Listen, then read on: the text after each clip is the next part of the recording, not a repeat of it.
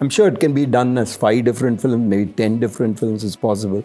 But I think um, the budget that we had did not allow more than this, I think. Two is it? Two is good enough. And with, with him, again, I told you about the trust. When he trusts you so much, you feel like tyranny. You feel like, oh my God, what am I going to do? So I'll score it with the keyboard. And he'll say, oh, that's fine. I said, no, no, it's not fine. We'll get real brass from, you know, Budapest and we'll get Firdaus Orchestra. We'll get Chennai Strings to do this stuff.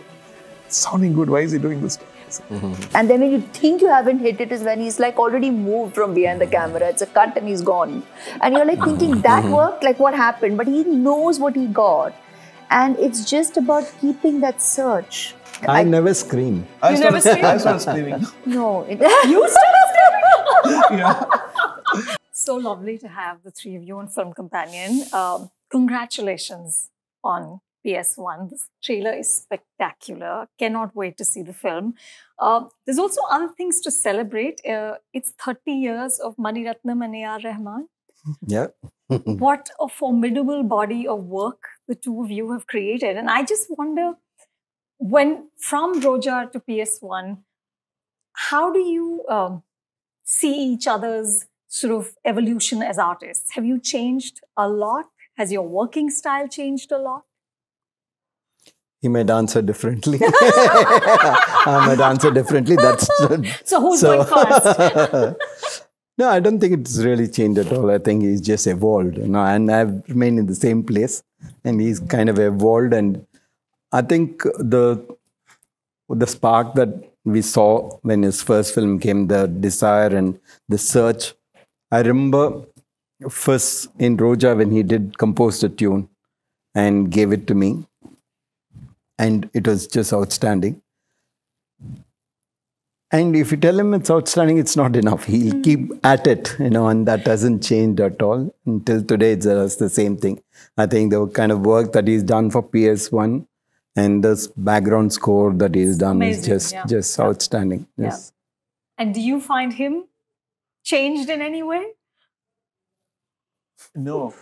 I mean, it's, um, Three decades later, you're both the same, yeah, I think we were both searching for the same thing Mhm. which is what? excellence and imagination, always. How lovely. And, uh, you know, when we know that, the commonality is that. And so when he trusts me so much, that's tyranny for me. so I get, oh my God, what do I do? I don't think he'll just throw it on my face. I, I can't give this. So I do my censorship before I give it to him. And sometimes I just give him like vocal note. I, I get, I'm on flight. Hey, how about this tune, sir? I like this. So recently I scored like a six minute sequence in the movie and I was like really proud of it. I'd done, you know, like 40 different parts and strings and brass and percussion. I said, man, I've just synced it and nailed it. and they said, what about this three months back you gave a tune? Can you put that? I said, oh my God. so I had to throw it all. And he was right. Because it was generic what I did. And then he had a purpose in bringing that tune into that. So he has that uh, objective vision Mm. about even music. So I trust blindly.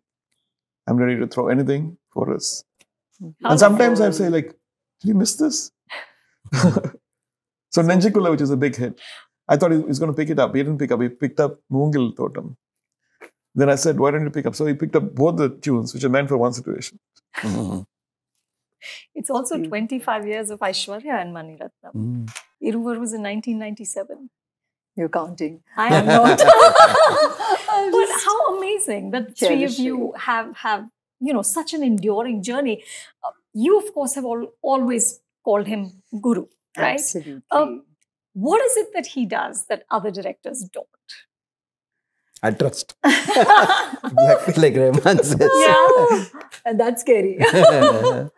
um, it's just uh, it can't be put down to words. Um, firstly, uh, like he just uh, mentioned earlier in another interview, which is which is a fact. The I have been uh, an admirer of their work, right? So uh, as millions.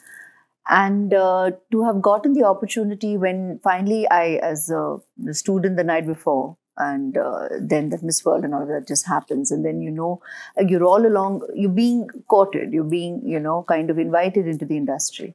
uh, by uh, very, very respectable uh, directors, and uh, it's all there. But then I know my truth, and I know that I'm I. Uh, I'm coming into this world of cinema, where it's it's it's not a fly by night thing for me. It's it's not about the glitz and the glamour, and it's not about the peripherals.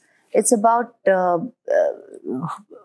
belonging to this uh, world that I respect the creative, uh, you know, forces that come together and create this magic in. And um, I want to contribute. I want to be part of this as an artist. And um, uh, it involves learning. I'm forever a student till this minute. And that was my beginning. And then to have got the opportunity of a, even a call from him, I was way, I mean, over the moon and all. Again, these are all like trivial words to actually express what I was feeling. And then I, uh, he wonderfully said, um, Iruvar, uh, your role in this. This is not a launch film. I'm not launching you, and this is not about all that. These are the characters. This is what you'll be seeing. This is the movie I'm making. And I was like, yes, I want to be part of a Mani Ratnam movie. Mani sir, this film is, of course, uh, a sort of Herculean labor of love, right? And and expectations are massive. Uh, it is arguably the greatest novel in Tamil literature. I was speaking to a colleague who writes about Tamil cinema, and she was saying that her and her friends actually went on a PS1 sort of traveling tour because you go to the locations that are mentioned in this novel, right? The fandom is so frenzied. Uh, and yet there is uh, a part of the country, this part of the country, where we're not so familiar with these characters, with what happens. How did you wrestle with that? You know, uh, creating a work of art that pleases the purists, but also seduces the rest of us. I think it was there in the book. It's there. I think it's there. you don't have to know. You don't have to know. People who have become big fans of the book, before they read the book, they probably didn't know that much about Cholas either. You know, I mean, this opened the doors and made people more aware of it, and then they started picking up more. So this, in a lot of ways, the book has been path breaking. You know, it's kind of blended fiction and history very, very well in Tamil. So I think I think it's if you're true to the story, if you're true to the period and convert it, you know, genuinely, then I think it'll it's open for anybody. You know, it's it's cinema, and it's a story. It's about characters. It's about a period of um Indian history, and some of the characters were real, and we see how they get formed. Do you uh, agree with the label Tamil Game of Thrones? No, No. no, no, no one's going for that one. no, No, this is a very think- original uh, Yeah. script. Because right. No, yeah. but I think meaning in the sense it's a it's a quest for power. And and the the sort of twists and turns and the betrayals and the treachery and all of that. Maybe Game of Thrones is a English Ponniyin Version Selvan. That's right. I love it. I love it. Ashwa, let's talk about Nandini, who's such a beguiling, uh, complex, ultimately sort of tragic figure, you know, in, in a sense. So and, and- human, no? so human so human what she wants why she's angry uh, and and uh, I, I heard that um, Rajni sir at the audio launch or the trailer launch said that the film should actually be called uh, Ponniyin Selvi because she's the hero, right? Uh, but she's also the antagonist. There are many other characters who call her a she cobra. And I'm like, wow, who is this woman who's sort of wielding her beauty as a weapon? Like, how did you get into her head? Wow, who is this woman? Mani sir, let's discover her together. That's precisely She sounds it. so fascinating. That's precisely it. And discovering her together through his vision was just, uh, I think, as an artist, it's it's it's fulfilling to get the opportunity to essay a character like Nandini uh, in a Maniratnam movie. Um, a special experience for an artist. Did you? Um, So maybe Mata Hari got inspired by Nandini. that's right. Let's just trace back everything to PS1. Right? but did The you? uh, original. did you uh, sort of add to the fiction, or uh, you know, it- was the book required, or were the cues from your screenplay? What did you want your actors to do? No, I wanted them to make it real. That's all. I mean, Nandini is written in the book. Nandini has been transferred onto the script. but it has to come to life in front of the camera. It has, you have to, you know, see what this lady thinks, what is her feeling, and what is it that she puts in front and what is behind her. You have to see both sides of it. And uh, that is what, that's the magic of cinema, is that what requires you know, several pages or several paragraphs in a book is brought out by one expression, by Yeah. one posture, by one, Yeah. you know. So I think when we converted it into film, that is what we went for, went to capture that in um, every moment possible. But how did you decide on the music? Because I saw an interview the two of you did together, and you said that uh, he no longer gives you s- specific song situations. It's more like a mood and a tone, and then the two of you co-create where the music has to come in. Is that how it worked for this film as well? He, there are certain situations he gives, but um, yeah, we're crazy. so for this, what happened was uh, I had done around 10, 12 tunes based on Carnatic and trying to be very authentic and all this stuff, and he didn't respond to anything. I was trying to play ragas, and maybe it's not good enough for him. Then I said maybe he's trying a very contemporary and uh, you know for this today's audience. So we should not be puritanical and think like nobody knows what ninth century sounded like. Right. So you have you have to use your imagination. So that was the right thing. Then it, it took like two process to process to get there. So I said, let's take me to Bali because I heard the conquest of the Cholas in you know Indonesia and Thailand and all that stuff. And there's uh, legacy of you know Mahabharata and Ramayana there. So we went to you know certain temples. We just saw the, the monkey chant and you know them singing and the the kind of pure you know souls they are, and that inspired me a, a lot. And then I did around twenty different ideas, twenty odd ideas. He didn't respond to that for a month, and then slowly picked up one Okay, and by just one. wait, stop it. When you send 20 ideas and he doesn't respond to a month for a month, what do you do? Or, or this is par for course, you don't get stressed. No, no, I don't. I don't get slack. It's- Sometimes you feel like, you know, for for any creator, Mhm. you you always fear that tomorrow I'm going to get up and I won't get any tunes which is likable, or nobody's going to like my stuff. They'll throw it on my face, and and then you cross that, and then, you know, in this I thought, okay, that's it, I'm done. Mhm. He doesn't like any of those, and then slowly picked up. Oh, what about this for this song? I said, okay, one tick mark, and then and then I think very few tracks were added after that jam session we did. And we went in the Bali, uh, you know, the the kind of music and the way they did the monkey chant, and you know, you see that influence actually. Yeah. So what maybe from the ninth century it went, and they kept it pure. Who knows? So You know, but that, that's the thing. You're talking about ninth century characters in a book that was written 70 years ago. Mm-hmm. And, and yet, the most sort of compelling historical cinema is cinema that speaks to contemporary reality. So, how does how does Ponniyin Selvan do that? How does it speak to where we are today as people and as a society? I think I think the content in Ponniyin Selvan book is very relevant even today. I mean, the struggle for power, the grouping, the conspiracies that happen within the politics. The politics of it is absolutely the, politics same. There's no yeah. from the Nothing charac- changes. Nothing changes. Thousand It's years. enduring. And I we're mean, still whatever the time, Nothing, it's nothing. enduring. I mean, under the fact power, that there's always evil. yeah, yeah. Basics and are when the there same. is when there is evil, there's always a story. right, right. This is true. Where there is evil, so, there is a story. so it is very much there's a goodness. contemporary. Huh? Yes, where there is evil, there is goodness Yeah, too. yeah, yeah. So, so you're saying those elements are timeless. Absolutely, absolutely timeless. And um, I think the characters are also in that way shades of us. Each one of us you can see within that. And uh, only when we try to make it a film, make it into a film, the approach was not to shoot it like a hmm. like a period film in the hmm. sense like it happened long back this happened long back and shoot it like from a distance. You know give it a tone make it look like a like how period films are supposed to be. Wanted it to be like we were there at that point of time. Wanted it to be contemporary.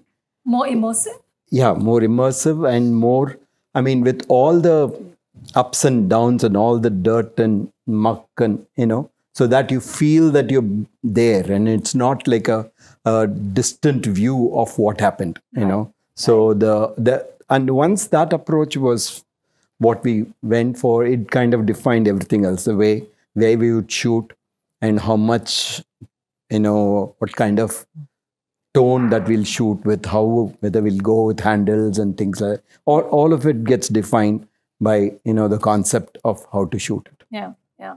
But five volumes in two films. Yeah. How did you decide what to keep, what to throw? That's a question in every one of his It's films that we. I have. met all It's the actors and they're like shivering. What scene it- it's taken off? All of them are like, How much I have don't know I what he made? cut off. Is, is, is this scene there? Is this scene there? But that's always in, on every film of his. Yeah. I think he's he knows Yeah, what no, he, I the think- story he wants to tell. I think when you convert it into a script, in you have to follow some spine and go with it and take that. I think I, you know, my writer told me the, the best line that I've heard before the film. He says, read the book once and then throw it away. Hmm. Okay, before you do the film, then then you write. You know. So You it kind of yeah. Yeah. So Yeah. but I think essentially we followed the um, the spine really. I mean, Kalki's novel goes through one character, one character called Vandiyathevan, and through him we travel and meet everyone else. I think Karthi's that yeah, Yeah. I think that's a path we've also taken. But I think when you you know convert a five part book into two part, there's some parts you should know how to skip and crunch, and some characters that you leave out, and try to get the honesty of this within this. I'm sure it can be done as five different films, maybe ten different films is possible, but I think. Um, the budget that we had did not allow more than this. I think Two is it? two is good enough. But you shot two without waiting to release one. That's not something that happens very often here. You know, everybody who's doing two part projects usually waits to see how the first part does. And then, even Baahubali, they'd shot a part of part two, but not the whole thing. You finished it. it if I had stopped to get all of them back that look, it wouldn't have been possible. and two, we looked at it this way, not as two films, mm-hmm. but we looked at it as, as one story. Got it. It's a six-hour film, you Yeah. know. So we tried to do it as one stretch, you know. what I mean, so it was not very difficult. Once you have that mindset, then it becomes a single film, and we try to do that. Well, I kind you of know- got that from the beginning from him, though. Oh. He was all along telling his story. He was making his whole film. Yeah. And then you just he then the master of editing and decides how No, even- what he'll keep, what he'll do, and how he chooses to intrigue the audience by making it into two, because there's so much to tell. As you're saying, five volumes even to two is like huge. Yeah. But all along, um, he was making his film. He was telling his story, you know, and that's something I got from the beginning uh, from him. That's fascinating. I mean, to to stay sort of the course for what 150 days and and just keep going. And, and maybe you should look at once part two is released, sort of do the six hour cut. You know, fans come in to see, they spend half their day watching it at length, Yeah. right? That could be Coming from someone who loves cinema. See, she's already dropping hints. yeah, yeah, no, just you know, just for Consider some of us. it. Yeah, consider it. Consider it. Um, yeah, you said in an interview that you should try to be uncluttered in your art because there is so much clutter in life, which is so lovely. How do you do that? How do you try to be uncluttered in your art? I think there's so many distractions. Even as an artist, you get called for many things. So you need to find where to stop. Like uh, where to stop and how not to overthink, how not to be too smart. Too smart actually against spots. So you have to leave certain things to chance, to nature, to the universe, to God, to sort things out. So just be on your mission, like the Gita says, do your karma. Hmm. Rest, leave it to. And I love that. And um, I feel like sometimes people say, hey, this movie is a very small movie. Why are you so working so hard? But my work. Hmm. But yeah, I think hmm. 30 years later, who knows who's going to hear this? But if I if I feel like this is less or this is more, I'm not being true to my work. And the true, even if one person sees, one person hears a song, you should feel my sincerity. You should feel the team's sincerity. And and with, with him, again, I told you about the trust. when he trusts you so much, you feel like tyranny. You feel like, oh my God, what am I going to do? So I'll score it with the keyboard. And he'll say, oh, that's fine. I said, no, no, it's not fine. We'll get real brass from, you know, Budapest and we'll get Firdaus Orchestra. We'll get Chennai strings to do this stuff. It's sounding good. Why is he doing this stuff? Said, Mhm. you know, but then with today's technology, the more you, you know, sometimes less is also very more. Yeah. The more is about quality, about even bit rate and how you record and frequencies, which so people notice all this stuff because now it's very explicitly clear. Yeah. Yeah. So you just stay the course and don't put value judgments on any project. It doesn't matter budget, No. stars, nothing. It's all equally important. Absolutely. And people like him, if you do 1x, they make it look like 10x or 100x. So it's convenience for us. yeah. He's just a nice guy. no, no. Says nice things. okay, okay, let me tell you. Let me tell you. So now she comes into the project with the respect as a guru, Yeah. right? Mm-hmm. So now I got a song, and she sings, lip syncs it. It goes 50x, Yeah. right? So it depends. The song can be sung by anybody. Mm. It could be lip sung by you know, you know people do all this stuff. So that's what I'm talking about. So when somebody's searching for excellence, your work gets in multitudes. Like I mean, you get the Yeah. opportunity to work with talent like this. Your work actually, you know, is is even noticed or even appreciated or even analyzed or even critiqued when you actually get to work with talent like this. So uh, it's all synergy, and you know, I mean, as we listen, as we talk, you keep hearing the uh, the core is spiritual connect. It's about staying true. It's about authenticity. It's about being genuine in and earnest in your commitment. So, I mean, you'll hear these words oft repeated when we speak, but then that's the that's the unifying uh, uh, creative thread, uh, dare I say, Yeah. where uh, the the I think the um, the attitude towards our uh, craft is pretty much that. It's about just staying true and uh, being hungry and looking to. I mean, if whenever he says that you know I did twenty and presented, and then you wait and then you kind of hmm. see. We are all doing that on set also constantly. You'll do a take, and while you think ah, that will then you just get the. So you know, like okay, you haven't hit it, hmm. and then when you think you haven't hit it, is when he's like already moved from behind the hmm. camera. It's a cut, and he's gone, and you're like thinking that worked, like what happened? But he knows what he got, and it's just about keeping that search, keeping that that creative hunger, um, you know, whetted, and you just you you love it. You actually, it's it's uh, it's very very uh, satisfying and. Uh, uh, confusing and uh, at the same time you know it's it's um, infectious it's it's somebody great. told me yesterday, sorry, Huh. all of them are heroes. They all worked as single hero. All of them are joined together Yeah. with the trust that this master is going to make it. Yeah. Yeah, no, no, look at absolutely. this galaxy of stars. Yeah. It's All of them are- incredible. Look at the time pressure in that you're putting on me. we work in faith That's what they and- said. Yesterday they said that. Only you could have brought them. But That's the journey, no? It's Yeah, the yeah. journey. And like you're saying, now you're sitting back and you're smiling. Then you let the Yeah. film what it has to do. Yeah, yeah, each one of them. But so, so tell me, the ultimate compliment from Mani sir is when he's finished and gone on to the next set. He's already moved. Huh. Mm-hmm. He's already moved Then you know he on to liked the the next shot. setup. You were good. Yeah. it's done. Now he's more indulgent. he's been more indulgent, no doubt. It's very, very see. Now when you get a yeah and all that, you're like flying. It's like amazing. Or he just mm-hmm. come in. One that's one scene and suddenly from behind there was this. And then suddenly there was a hand on the you know, on the shoulder, you're like, oh my God, he's here. And he's actually just mm-hmm. done this. It's amazing. But then I think that's that's the way we work with your guru, right? You're just waiting to you you don't know when, what, how, and it's just magical when you actually get that.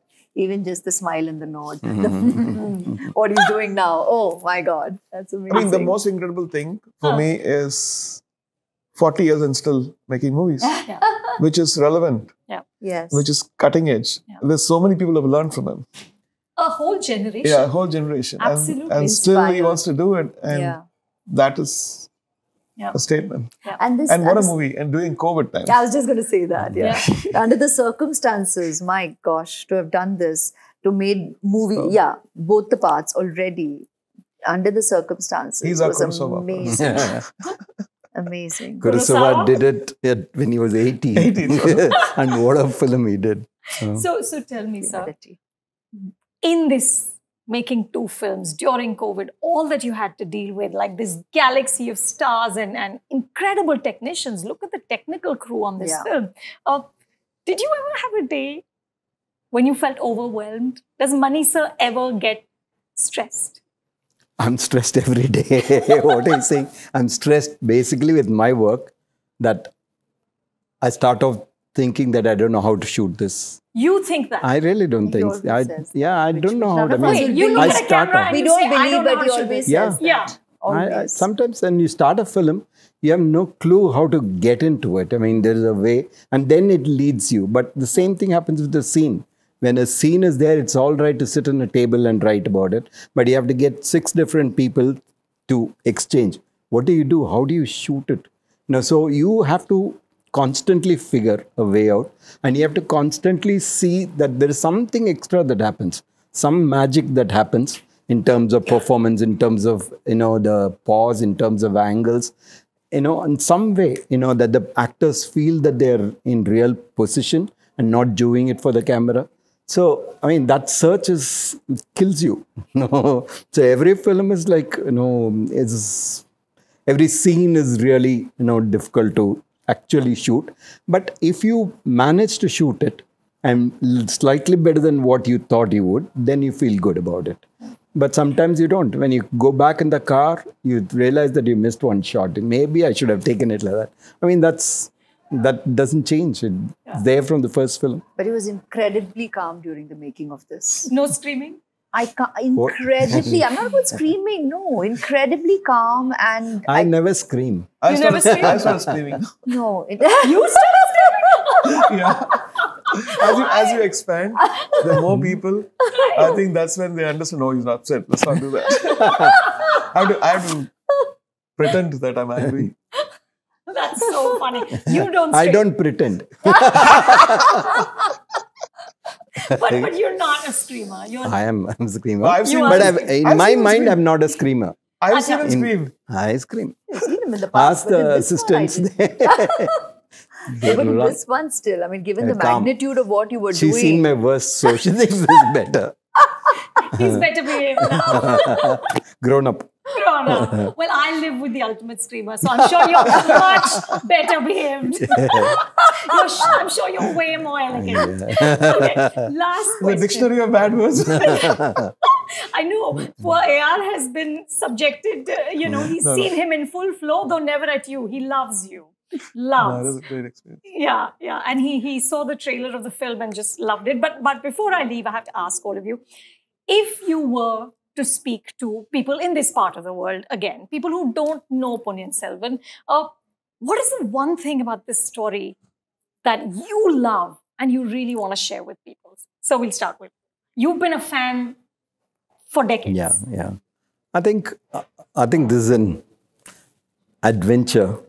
You know, I mean, this is probably the first adventure novel that I've read in Tamil, in Indian language, and uh, I think it's written so well, so excitingly. You know that it is meant for cinema. It's a page turner. Yeah, and not only a page turner, it is a, it's uh, IMAX. That's what the book says. No, it's Right. an, that this is an IMAX film. Do it like that. No, How wonderful. That's terrific.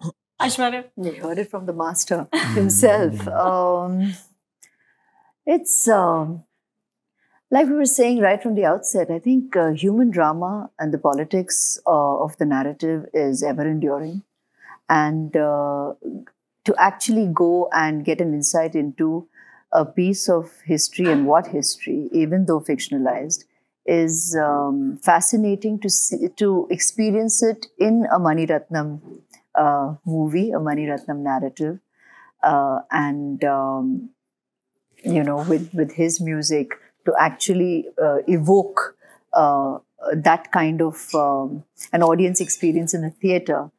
I think it's, it would just be fascinating to view, experience, and live with this narrative for what it is. in my opinion, I think people lack motivation now. And um, most of us don't know why we are born. So we look at South India. This movie actually emphasizes on the achievements of your ancestors. Yeah. When you see that, you get inspired. Oh my God, I live in such legacy. What am I doing? I, I just can't celebrate that legacy. I just want to do something. Mm. I think it's going to evoke that passion. And even if you look at uh, cultures, there's a people condescend. Okay, you are from south, you're from north, you're from east and west. I think it's so important to revive and show people what we're made of. And this, I feel that this would end all that, you know, divide, and it will help us celebrate each other. Sounds terrific. Yeah. When I when am I seeing it? Thank you. Thank you so much and, and all best for the film. Thank, Thank you. you. Thank you.